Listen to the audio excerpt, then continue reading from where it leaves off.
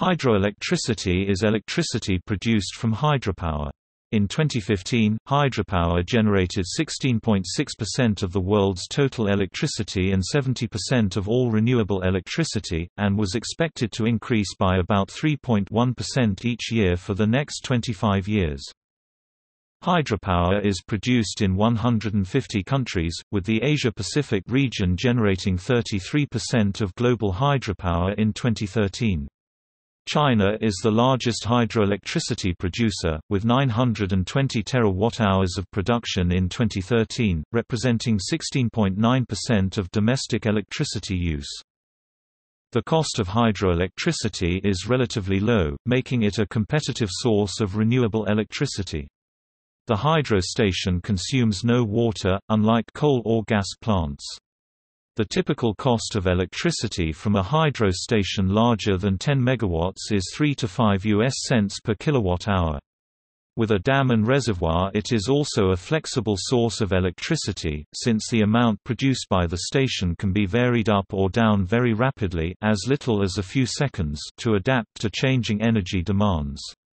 Once a hydroelectric complex is constructed, the project produces no direct waste, and in many cases it has a considerably lower output level of greenhouse gases than fossil fuel-powered energy plants.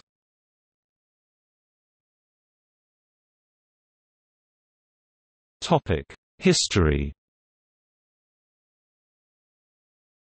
Hydropower has been used since ancient times to grind flour and perform other tasks. In the mid-1770s, French engineer Bernard Forest de Bélidor published Architecture hydraulique, which described vertical and horizontal axis hydraulic machines. By the late 19th century, the electrical generator was developed and could now be coupled with hydraulics.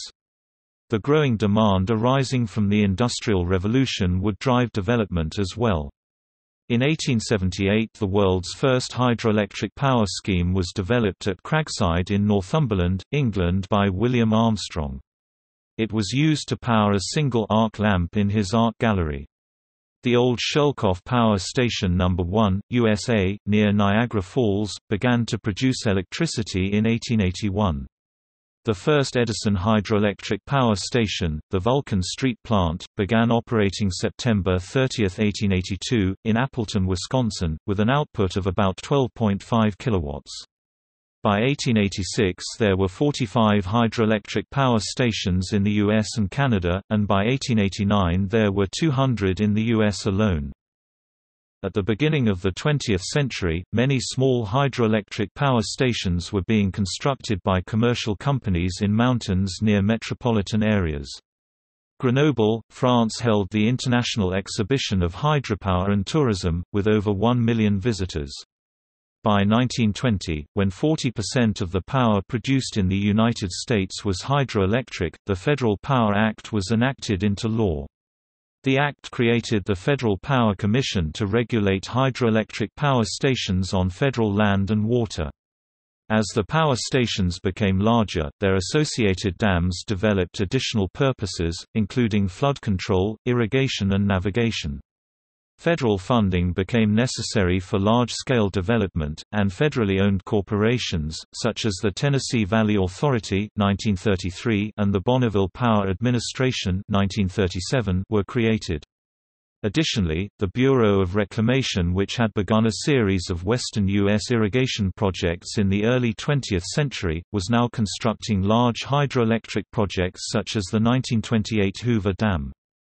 The U.S. Army Corps of Engineers was also involved in hydroelectric development, completing the Bonneville Dam in 1937 and being recognized by the Flood Control Act of 1936 as the premier federal flood control agency. Hydroelectric power stations continued to become larger throughout the 20th century.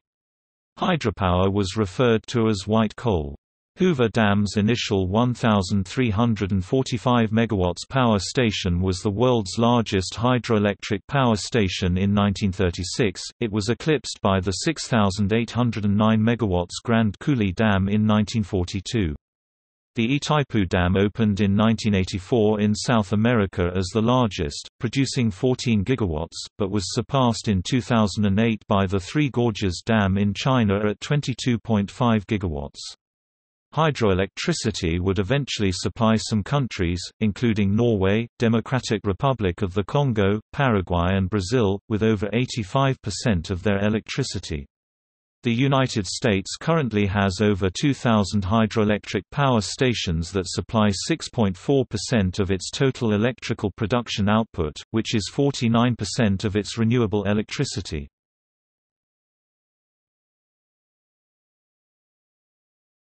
Topic: Future potential. The technical potential for hydropower development around the world is much greater than the actual production. The percent of potential hydropower capacity that has not been developed is 71% in Europe, 75% in North America, 79% in South America, 95% in Africa, 95% in the Middle East, and 82% in Asia Pacific. Due to the political realities of new reservoirs in Western countries, economic limitations in the Third World and the lack of a transmission system in undeveloped areas, perhaps 25% of the remaining technically exploitable potential can be developed before 2050, with the bulk of that being in the Asia-Pacific area. Some countries have highly developed their hydropower potential and have very little room for growth. Switzerland produces 88% of its potential and Mexico 80%.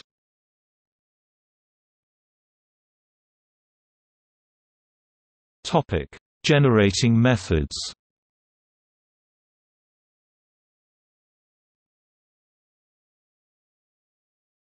Topic: Conventional dams.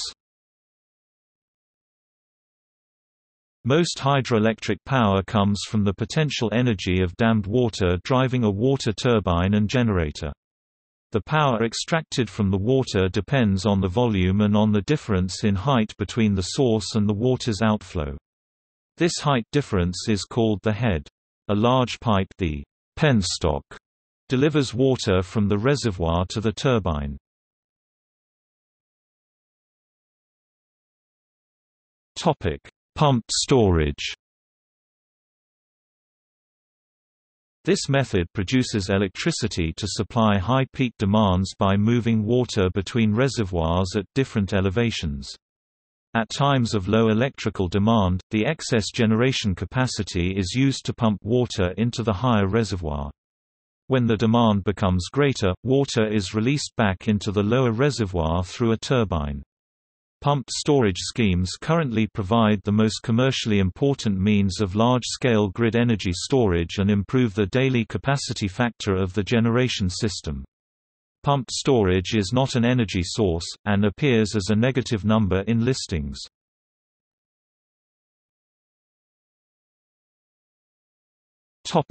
Run-of-the-river Run-of-the-river hydroelectric stations are those with small or no reservoir capacity, so that only the water coming from upstream is available for generation at that moment, and any oversupply must pass unused. A constant supply of water from a lake or existing reservoir upstream is a significant advantage in choosing sites for run-of-the-river. In the United States, run-of-the-river hydropower could potentially provide 60,000 megawatts, 80 million horsepower, about 13.7% of total use in 2011 if continuously available.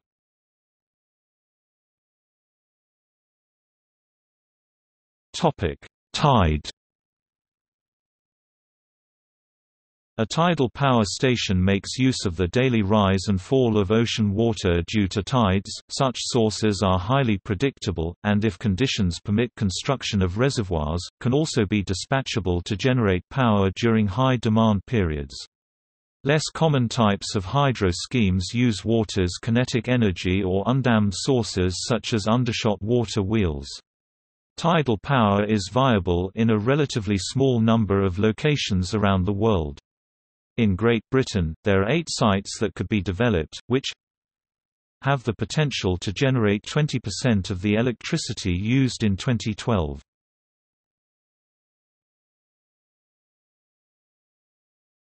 Topic: Sizes, types and capacities of hydroelectric facilities.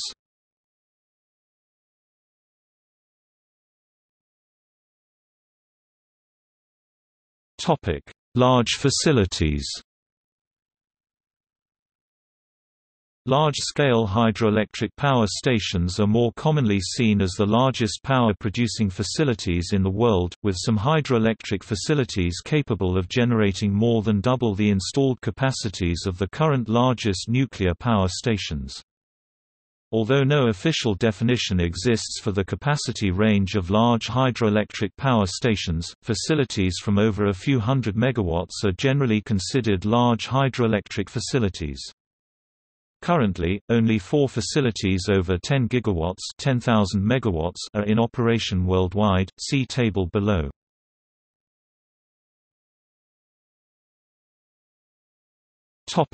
Small Small hydro is the development of hydroelectric power on a scale serving a small community or industrial plant. The definition of a small hydro project varies but a generating capacity of up to 10 MW MW is generally accepted as the upper limit of what can be termed small hydro. This may be stretched to 25 MW and 30 MW in Canada and the United States. Small-scale hydroelectricity production grew by 29% from 2005 to 2008, raising the total world small hydro capacity to 85 gigawatts. Over 70% of this was in China 65 gigawatts, followed by Japan 3.5 gigawatts, the United States 3 gigawatts, and India 2 gigawatts. Small hydro stations may be connected to conventional electrical distribution networks as a source of low-cost renewable energy. Alternatively, small hydro projects may be built in isolated areas that would be uneconomic to serve from a network, or in areas where there is no national electrical distribution network. Since small hydro projects usually have minimal reservoirs and civil construction work, they are seen as having a relatively low environmental impact compared to large hydro. This decreased environmental impact depends strongly on the balance between stream flow and power production.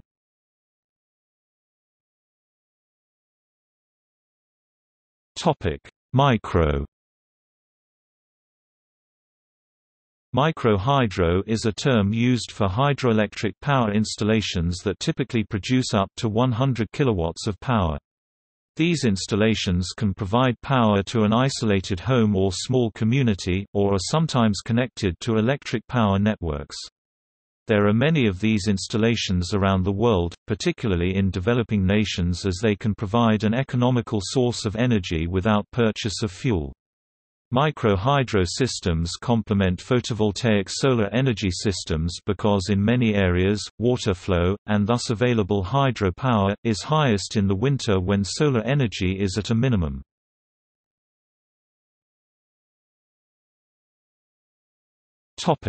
Pico Pico hydro is a term used for hydroelectric power generation of under 5 kW. It is useful in small, remote communities that require only a small amount of electricity. For example, to power one or two fluorescent light bulbs and a TV or radio for a few homes. Even smaller turbines of 200 to 300 W may power a single home in a developing country with a drop of only 1 meter 3 feet. A pico hydro setup is typically run of the river, meaning that dams are not used, but rather pipes divert some of the flow, drop this down a gradient, and through the turbine before returning it to the stream.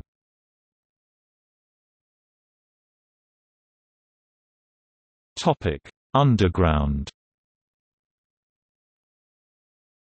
An underground power station is generally used at large facilities and makes use of a large natural height difference between two waterways, such as a waterfall or mountain lake. An underground tunnel is constructed to take water from the high reservoir to the generating hall built in an underground cavern near the lowest point of the water tunnel and a horizontal tailrace taking water away to the lower outlet waterway.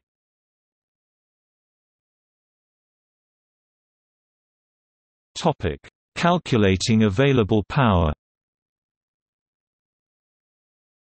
A simple formula for approximating electric power production at a hydroelectric station is P equals minus eta M G delta H equals minus eta rho V G delta H display style p equals eta dot m g delta h equals eta rho dot v g delta h where p display style p is power in watts eta display style eta eta is the coefficient of efficiency a unitless, scalar coefficient, ranging from 0 for completely inefficient to 1 for completely efficient.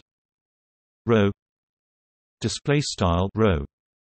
Rho is the density of water approximately 1000 kilograms per cubic meter. V display style dot v is the volumetric flow rate in cubic meter per second. M display style dot m is the mass flow rate in kilogram per second. Delta h display style delta h delta h is the change in height in meters. G display style g is acceleration due to gravity 9.8 meters per square second efficiency is often higher that is closer to 1 with larger and more modern turbines annual electric energy production depends on the available water supply in some installations, the water flow rate can vary by a factor of 10 to 1 over the course of a year.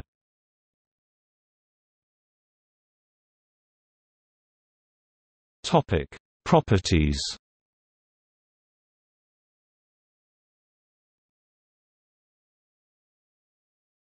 Topic: Advantages.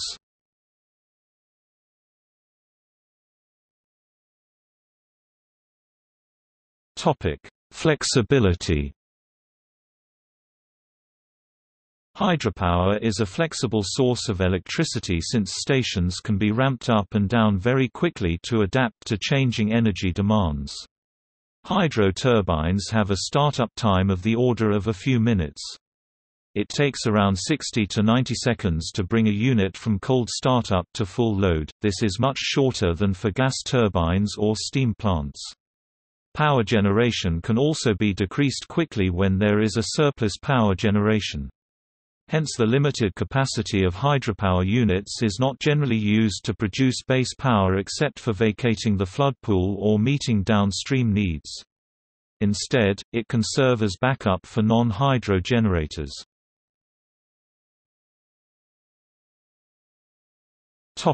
Low-cost, high-value power The major advantage of conventional hydroelectric dams with reservoirs is their ability to store water at low cost for dispatch later as high-value clean electricity. The average cost of electricity from a hydro station larger than 10 MW is 3 to 5 US cents per kilowatt-hour. When used as peak power to meet demand, hydroelectricity has a higher value than base power and a much higher value compared to intermittent energy sources. Hydroelectric stations have long economic lives, with some plants still in service after 50 to 100 years. Operating labor cost is also usually low, as plants are automated and have few personnel on site during normal operation. Where a dam serves multiple purposes, a hydroelectric station may be added with relatively low construction cost, providing a useful revenue stream to offset the costs of dam operation. It has been calculated that the sale of electricity from the Three Gorges Dam will cover the construction costs after five to eight years of full generation. However, some data shows that in most countries large hydropower dams will be too costly and take too long to build to deliver a positive risk-adjusted return, unless appropriate risk management measures are put in place.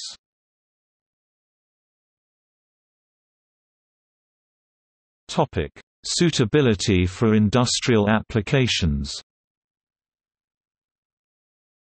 While many hydroelectric projects supply public electricity networks, some are created to serve specific industrial enterprises. Dedicated hydroelectric projects are often built to provide the substantial amounts of electricity needed for aluminium electrolytic plants, for example. The Grand Coulee Dam switched to support Alcoa Aluminium in Bellingham, Washington, United States for American World War II airplanes before it was allowed to provide irrigation and power to citizens in addition to aluminium power after the war. In Suriname, the Brokopondo Reservoir was constructed to provide electricity for the Alcoa aluminium industry. New Zealand's Manapouri Power Station was constructed to supply electricity to the aluminium smelter at Tiwai Point.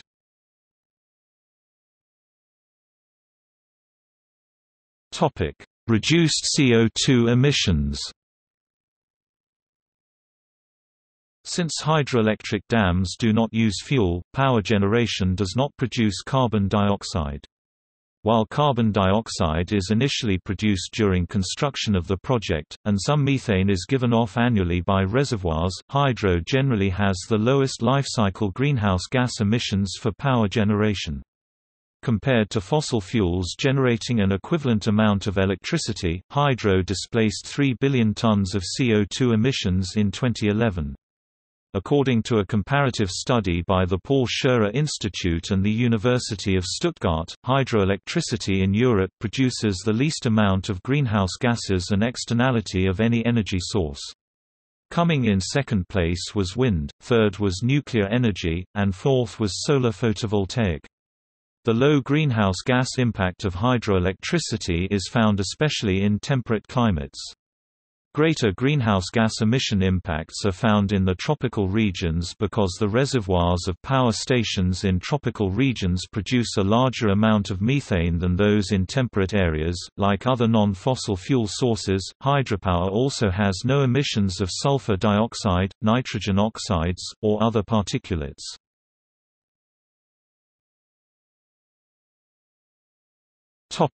Other uses of the reservoir Reservoirs created by hydroelectric schemes often provide facilities for water sports, and become tourist attractions themselves. In some countries, aquaculture in reservoirs is common. Multi-use dams installed for irrigation support agriculture with a relatively constant water supply. Large hydro dams can control floods, which would otherwise affect people living downstream of the project.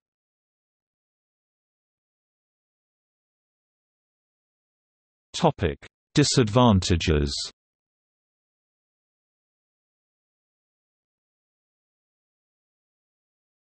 Topic: Ecosystem damage and loss of land. Large reservoirs associated with traditional hydroelectric power stations result in submersion of extensive areas upstream of the dams, sometimes destroying biologically rich and productive lowland and riverine valley forests, marshland and grasslands. Damming interrupts the flow of rivers and can harm local ecosystems, and building large dams and reservoirs often involves displacing people and wildlife. The loss of land is often exacerbated by habitat fragmentation of surrounding areas caused by the reservoir. Hydroelectric projects can be disruptive to surrounding aquatic ecosystems both upstream and downstream of the plant site. Generation of hydroelectric power changes the downstream river environment. Water exiting a turbine usually contains very little suspended sediment, which can lead to scouring of river beds and loss of riverbanks. Since turbine gates are often opened intermittently, rapid or even daily fluctuations in river flow are observed.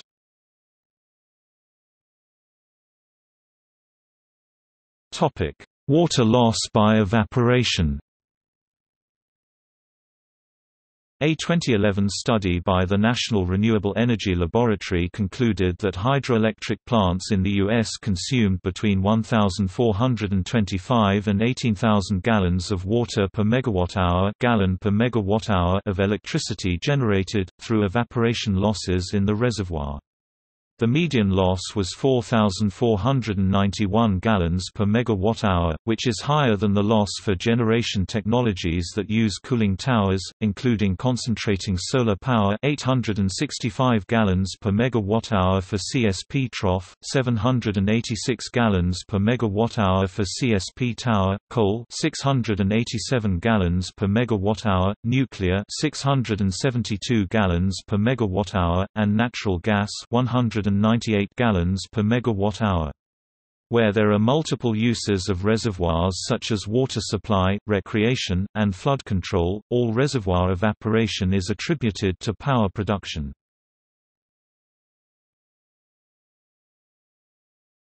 Siltation and flow shortage When water flows it has the ability to transport particles heavier than itself downstream. This has a negative effect on dams and subsequently their power stations, particularly those on rivers or within catchment areas with high siltation. Siltation can fill a reservoir and reduce its capacity to control floods along with causing additional horizontal pressure on the upstream portion of the dam. Eventually, some reservoirs can become full of sediment and useless or overtop during a flood and fail. Changes in the amount of river flow will correlate with the amount of energy produced by a dam. Lower river flows will reduce the amount of live storage in a reservoir therefore reducing the amount of water that can be used for hydroelectricity. The result of diminished river flow can be power shortages in areas that depend heavily on hydroelectric power. The risk of flow shortage may increase as a result of climate change. One study from the Colorado River in the United States suggests that modest climate changes, such as an increase in temperature in 2 degrees Celsius resulting in a 10% decline in precipitation, might reduce river runoff by up to 40%. Brazil in particular is vulnerable due to its heavy reliance on hydroelectricity, as increasing temperatures, lower water hour and alterations in the rainfall regime, could reduce total energy production by 7% annually by the end of the century.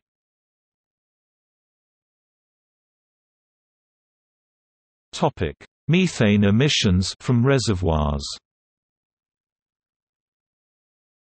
Lower positive impacts are found in the tropical regions, as it has been noted that the reservoirs of power plants in tropical regions produce substantial amounts of methane. This is due to plant material in flooded areas decaying in an anaerobic environment and forming methane, a greenhouse gas. According to the World Commission on Dams report, where the reservoir is large compared to the generating capacity less than 100 watts per square meter of surface area and no clearing of the forests in the area was undertaken prior to impoundment of the reservoir, greenhouse gas emissions from the reservoir may be higher than those of a conventional oil-fired thermal generation plant. In boreal reservoirs of Canada and northern Europe, however, greenhouse gas emissions are typically only 2% to 8% of any kind of conventional fossil fuel thermal generation. A new class of underwater logging operation that targets drowned forests can mitigate the effect of forest decay.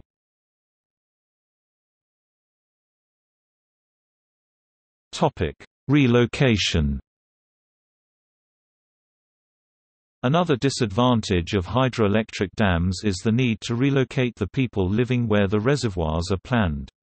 In 2000, the World Commission on Dams estimated that dams had physically displaced 40 to 80 million people worldwide.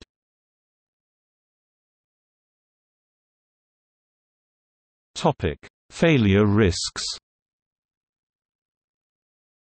Because large conventional dammed hydro facilities hold back large volumes of water, a failure due to poor construction, natural disasters or sabotage can be catastrophic to downriver settlements and infrastructure.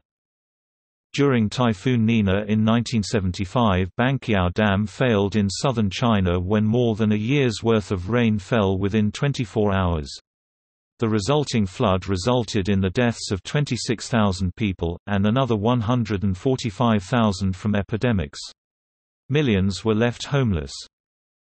The creation of a dam in a geologically inappropriate location may cause disasters such as 1963 disaster at Vajont Dam in Italy, where almost 2,000 people died, the Malpasset Dam failure in Fréjus on the French Riviera Côte d'Azur, southern France, collapsed on December 2, 1959, killing 423 people in the resulting flood. Smaller dams and micro-hydro facilities create less risk, but can form continuing hazards even after being decommissioned.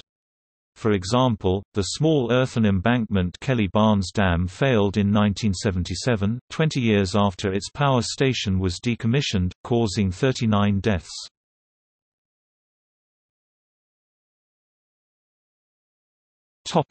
Comparison and interactions with other methods of power generation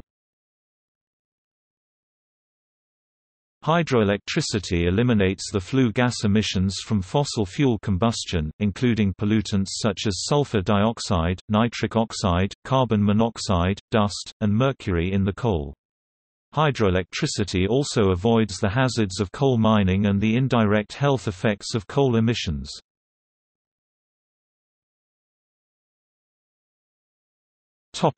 Nuclear power Compared to nuclear power, hydroelectricity construction requires altering large areas of the environment while a nuclear power station has a small footprint, and hydro power station failures have caused tens of thousands of more deaths than any nuclear station failure. The creation of Garrison Dam, for example, required Native American land to create Lake Sakakawea, which has a shoreline of 1,320 miles, and caused the inhabitants to sell 94% of their arable land for $7.5 million in 1949. However, nuclear power is relatively inflexible, although nuclear power can reduce its output reasonably quickly. Since the cost of nuclear power is dominated by its high infrastructure costs, the cost per unit energy goes up significantly with low production. Because of this, nuclear power is mostly used for baseload. By way of contrast, hydroelectricity can supply peak power at much lower cost. Hydroelectricity is thus often used to complement nuclear or other sources for load following. Country examples where they are paired in a close to 50-50 share include the electric grid in Switzerland, the electricity sector in Sweden and to a lesser extent, Ukraine and the electricity sector in Finland.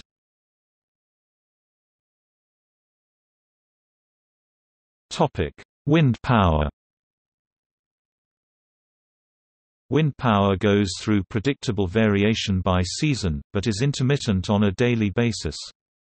Maximum wind generation has little relationship to peak daily electricity consumption. The wind may peak at night when power isn't needed or be still during the day when electrical demand is highest. Occasionally weather patterns can result in low wind for days or weeks at a time. A hydroelectric reservoir capable of storing weeks of output is useful to balance generation on the grid. Peak wind power can be offset by minimum hydropower and minimum wind can be offset with maximum hydropower. In this way the easily regulated character of hydroelectricity is used to compensate for the intermittent nature of wind power. Conversely, in some cases wind power can be used to spare water for later use in dry seasons. In areas that do not have hydropower, pumped storage serves a similar role, but at a much higher cost and 20% lower efficiency. An example of this is Norway's trading with Sweden, Denmark, the Netherlands and possibly Germany or the UK in the future. Norway is 98% hydropower, while its flatland neighbours are installing wind power.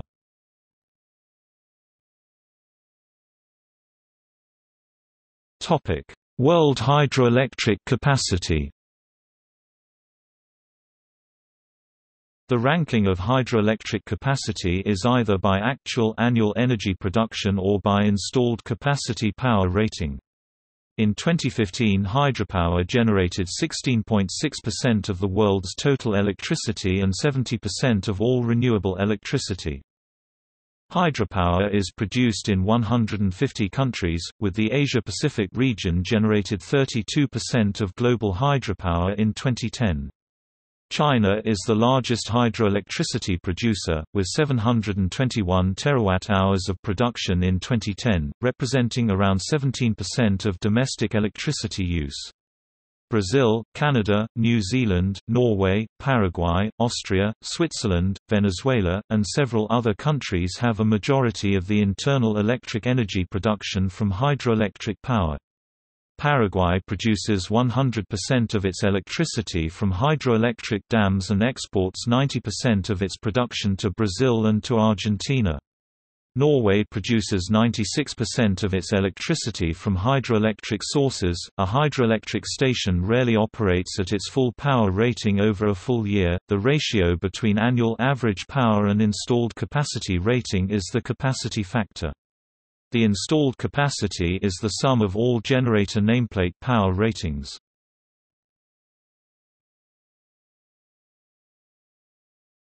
Topic: Major projects under construction.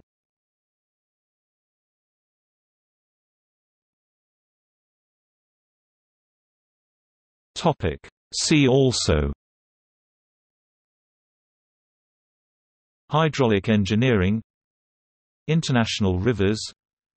List of energy storage projects. List of hydroelectric power station failures. Lists of hydroelectric power stations List of largest power stations. List of renewable energy topics by country